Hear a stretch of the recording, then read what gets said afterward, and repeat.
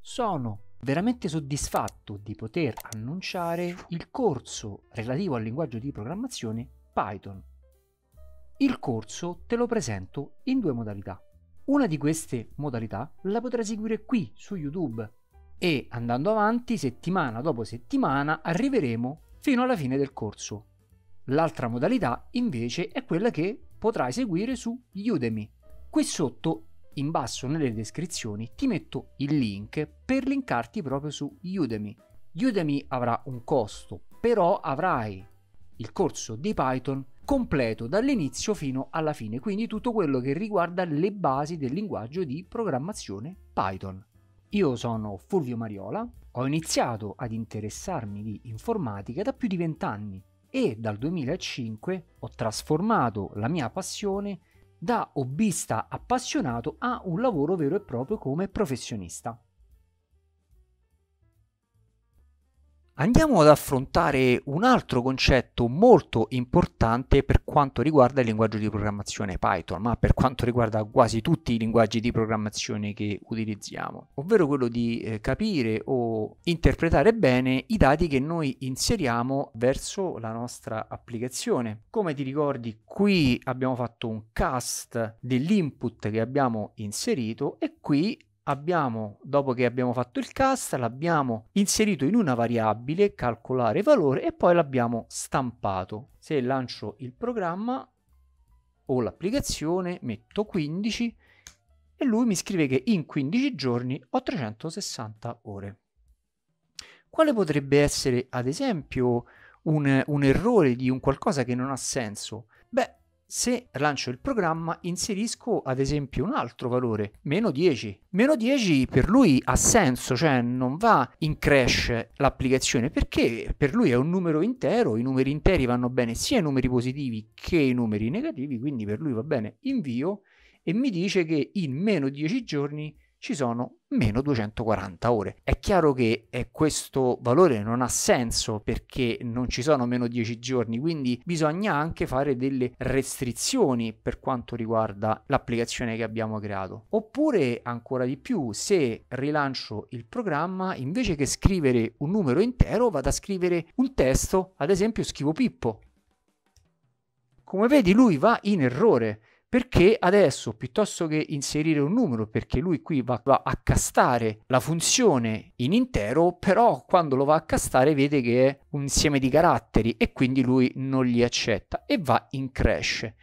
Quindi come vedi queste sono due problematiche la validità dell'input, quando vogliamo che il valore abbia senso ed inoltre sia un valore corretto, intanto dobbiamo vedere che quando il valore inserito non ha senso, ovvero nel nostro caso è stato un valore negativo, ma non esistono dei giorni che sono negativi o delle ore che sono negative, quindi di fatto non ha senso, quindi gli dovremmo, dovremmo restringere la nostra applicazione e dirgli guarda, accetta i valori che sono superiori a 0 oppure quando il programma va in crash come nel nostro caso piuttosto che inserire dei numeri abbiamo inserito un testo ed è andato in crash quindi tali errori potrebbero essere anche un rischio per la sicurezza della nostra applicazione. In questo caso è una semplice applicazione, ma un qualcosa del genere potrebbe essere anche inserito in un programma molto più grande. Come tu sai, il programma o l'applicazione viene eseguita processo per processo, riga per riga. E noi adesso cosa dobbiamo fare? Dobbiamo cercare di discriminare, quindi di condizionare il valore per avere un risultato quantomeno corretto. Dove di fatto noi possiamo inserire questa condizione che dovrò assegnare alla mia applicazione? Lo posso inserire prima della funzione, dopo della funzione. Quindi dove possiamo inserire la condizione del valore che poi noi utenti, lo user andrà ad inserire in questa applicazione? Beh, io credo che sia meglio inserirla all'interno della funzione. Quindi possiamo andare qui nella funzione e andiamo qui all'inizio della funzione. Vediamo come sono gestite le cose di questa funzione. Le condizioni appunto sono delle espressioni che dovranno avere un valore e verificheranno in maniera booleana se il valore di fatto è true o false. Non dovranno fare nient'altro che questo. E qui ci sono le differenti situazioni in cui il valore può essere eh, uguale uguale, quindi vero oppure falso oppure minore di minore uguale di, maggiore di o maggiore uguale di.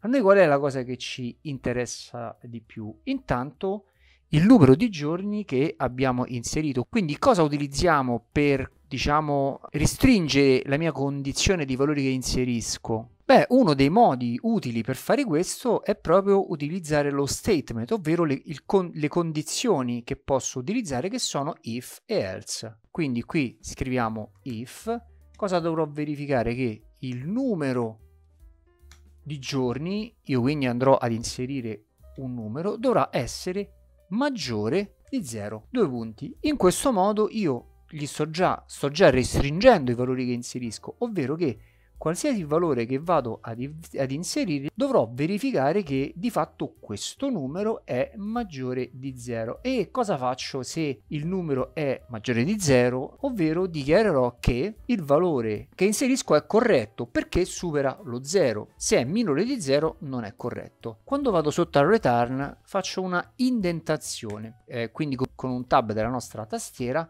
cosa faccio? Oltre al fatto di rendere più ordinato il linguaggio che sto leggendo, quindi anche la prossima persona che dovrà analizzare il nostro codice sa come leggerlo, ma è anche più strutturato, quindi stai, capisci immediatamente qual è la cosa che fa l'applicazione quando ho inserito un numero di giorni e va a verificare se questo valore è valido oppure no. Quindi adesso lanciamo il programma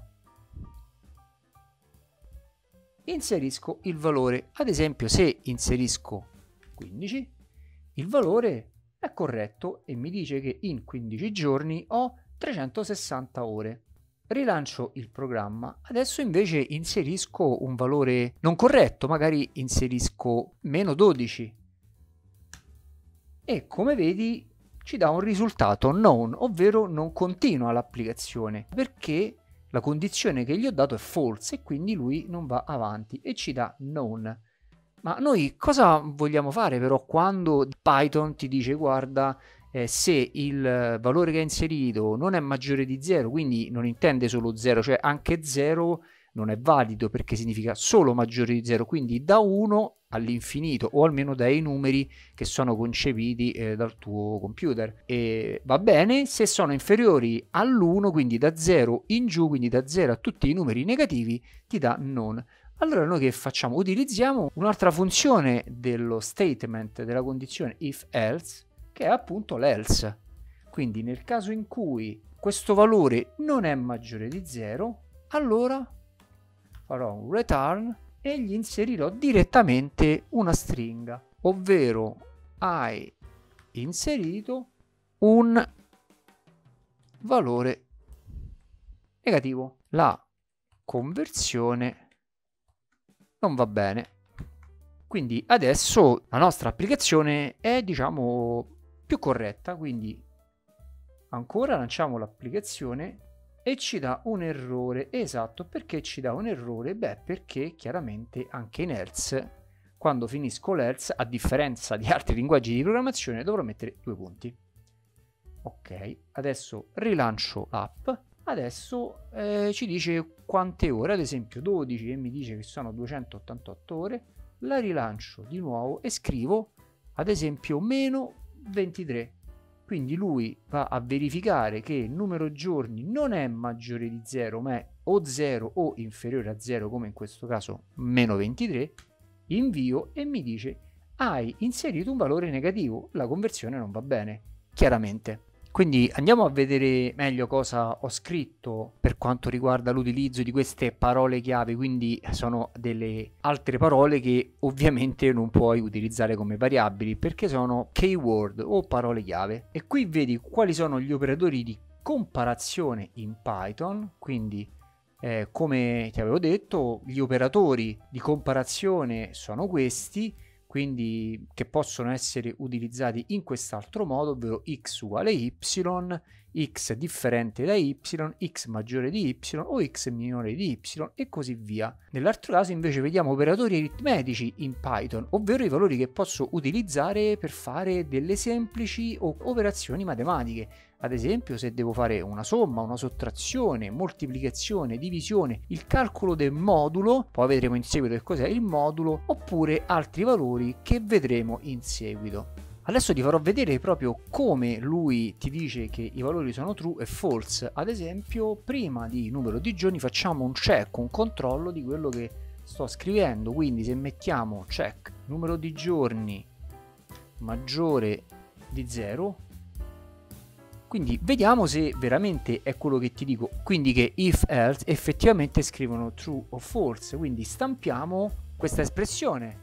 Invio, se scrivo 13 invio e come vedi la prima cosa che mi scrive dopo 13 è true, ovvero la stampa di numero di giorni. Ad esempio, se lo faccio invece con un valore negativo, scrivo meno 12, ovviamente mi scriverà false. Poi, come ti avevo detto, di fatto è un valore di tipo boolean. Ok, lo possiamo anche vedere da Python che è boolean. E come faccio a vederlo? Possiamo fare così, ovvero togliamo il print e inseriamo questo valore all'interno di una variabile. Quindi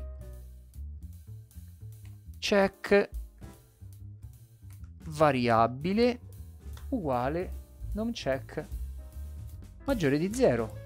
Adesso gli diamo una funzione di Python, ovvero il tape, aperta e chiusa d'onda, e metto check bar. E vediamo cosa ci dice quando lanciamo il programma. Lanciamo il programma, ad esempio 13, e non me l'ha stampato chiaramente perché non gli avevo aggiunto il print. Se, perché tape check mi dà un valore che però non viene stampato. Per stampare bisogna dargli appunto la funzione di stampa che è print. Quindi print tape check bar. Ok, adesso lo lancio. Eh, 12 ad esempio, 12 giorni, invio e come vedi la funzione tape check var, ovvero che sta valutando numero di origini maggiore di 0 cosa è e ci dice che il tipo che è è boolean. Proviamo a fare qualche altro esempio proprio per verificare eh, i meccanismi di, di tape. Ad esempio verifichiamo se riconosce una string oppure riconosce un numero. Quindi cancelliamo questo, facciamo print e eh, vogliamo sapere che tipo di che tipo è ad esempio una stringa quindi non so eh, non so inserisco numero lancio il programma e come vedi lui mi dice che è una stringa oppure non so ad esempio voglio sapere oltre al fatto che qui che ha riconosciuto che le mie condizioni if else sono di tipo boolean ma vediamo anche se riconosce i numeri ad esempio se qui invece di inserire una stringa inserisco 12, vado in run e di fatto mi dice che è un int, che è un intero. Oppure ad esempio vediamo se riconosce un numero di tipo float, quindi non so, mettiamo 12,23. Lo lancio e come vedi anche qua ci dice che è un numero di tipo float, quindi un numero con la virgola. Ma torniamo al nostro programma. Continuiamo ragionando con if else. If else di fatto è, um, può essere gestito in maniera multipla. Analizziamo meglio il perché. Allora, noi uh, abbiamo visto che se ad esempio andiamo ad inserire un valore positivo, lui mi dice qual è il suo risultato. Se andiamo ad inserire un valore invece negativo, appunto lui mi dice guarda inserisci un altro numero perché questo valore non va bene, è, è negativo. Però se ad esempio vado a inserire un numero che diciamo non è negativo né positivo, quindi è 0, beh di fatto se invio lui comunque mi scrive guarda hai inserito un valore negativo. Ma in realtà non è vero perché è un valore che non ha segno 0, non è né negativo né positivo. Ma noi con if else di fatto possiamo utilizzare um, un if else multiplo, ovvero if else ma anche altre opzioni. Ad esempio, in questo caso possiamo utilizzare quello che eh, potrebbe essere un if else o un else if, come lo vuoi chiamare, però in Python è chiamato proprio elif. Elif. quindi con elif gli darò il valore che io voglio assegnargli, ovvero che numero di giorni in questo caso è uguale a 0. Due punti. Allora, in questo caso, eh, in effetti, come vedi ti dà errore, c'è una cosa da capire. Allora, quando io inserisco un singolo uguale, questo non significa che numero di giorni è uguale a 0.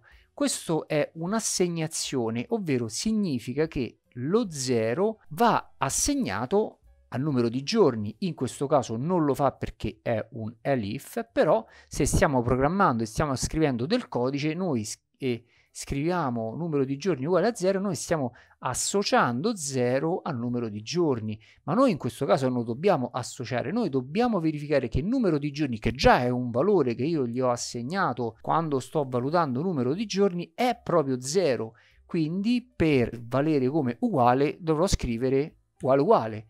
In questo caso allora veramente mi dirà ma il numero di giorni è uguale a 0 e qui mi dirà sì no è nel mio, nella mia applicazione. Quindi in questo caso allora sarà return e hai inserito lo 0 per piacere inserisci un numero positivo valido e adesso andiamo a verificare se quello che abbiamo scritto è corretto. Quindi lancio il programma, inizio prima con 12, invio e mi dice che in 12 giorni ci sono 288 ore. Poi in questo caso inserisco un numero negativo, ad esempio meno 23, e lui mi dice guarda si stoppa e mi dice guarda ha inserito un valore negativo, la conversione non va bene. Provo di nuovo e questa volta vado ad inserire lo 0. Invio hai inserito lo 0, per piacere inserisci un numero positivo valido. Quindi come vedi ne ho inseriti due, ne ho inseriti tre, ma ne posso inserire quanti ne voglio con if else, questo valore if else. Ovviamente elif come vale per if, come vale per else come tutte le parole chiave non può essere utilizzato come variabile perché è una parola riservata in questo caso nello statement if else. Poi ci sono anche altri dettagli che possiamo eh, vedere qui. Eh, guarda, se premi questa asticella, premi sopra e vedi tutto il tuo programma meglio. Come vedi qui ho creato una, un input numero uguale int input utente quindi ho associato la funzione int a, alla variabile input utente numero come vedi sempre con un uguale perché con un uguale io faccio un'assegnazione e non un uguale però io posso anche benissimo fare questo ovvero eh, faccio copio int input lo inserisco qui e vale la stessa cosa, cioè oh, piuttosto che creare una variabile posso diciamo scrivere meno codice ed inserire qui eh, input utente, comunque lui farà lo stesso il casting e quindi trasformerà nel caso in cui io avessi inserito una stringa lui lo trasformerà in int.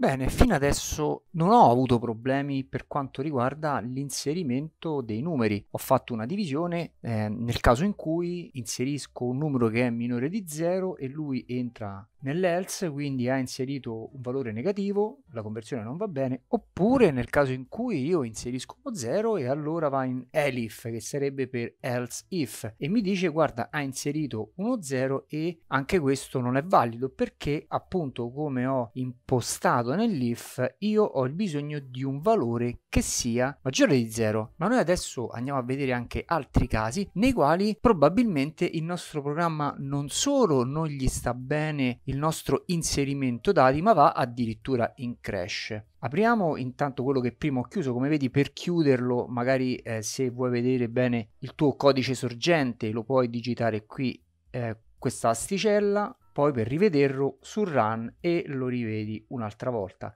ok lanciamo la nostra app quindi ha inserito un valore appunto 10 va bene eh, 10 giorni o 24 ore ma vediamo nel caso in cui ad esempio io inserisco del testo Se io inserisco un valore testuale e, e lancio il programma, quindi premo invio, lui va in errore. Va in errore, come vedi, perché non accetta il valore che gli ho inserito e mi dice value error invalid literal for int, ovvero eh, il nostro int, come vedi, non riesce a convertire un valore letterale in un valore numerico, ma non solo per questo, ma anche nel caso in cui, ad esempio, rilancio il programma, non inserisco delle lettere, ma inserisco dei numeri, però che numeri inserisco? Ad esempio, inserisco dei numeri con la virgola, ad esempio 13 0,34. Come vedi, eh, già te l'ho detto prima, ma come vedi qui ho messo il punto, ma stiamo parlando di un alfabeto americano, quindi il punto sta per virgola, non è come noi che utilizziamo il punto per scrivere 1000, 10.000 o 100.000. Il punto per noi è una virgola, quindi sarebbe 13,34. Se faccio invio, e come vedi anche qui in questo caso come al solito input non riesce a trasformare o meglio a convertire questo numero che è 13,34 non riesce a trasformarlo in un numero intero perché la conversione che gli do è in int quindi tutti i valori che io gli do in input utente dovranno essere quantomeno numeri interi e né del testo quindi delle lettere ma neanche dei numeri con la virgola possono essere convertiti in numeri, quindi dobbiamo trovare una soluzione a questo problema. Per evitare questo problema, allora andiamo a vedere cosa possiamo fare nella nostra applicazione, nel nostro programma.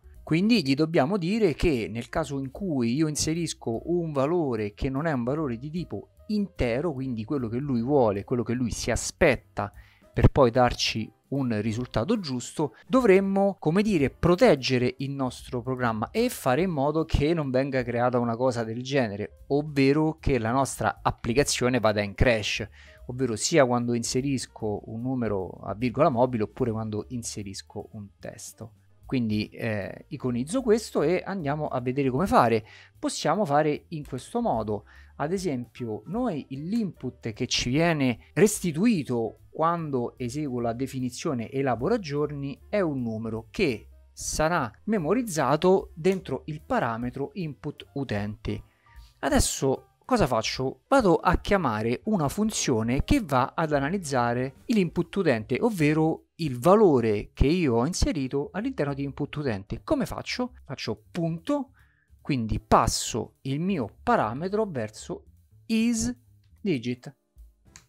In questo modo io andrò a passare il mio valore input utente in isDigit. Come posso fare però per discriminarlo, ovvero per dirgli di fare una cosa oppure farne un'altra? Beh, posso utilizzare il nostro if. Quindi if input underscore utente isDigit.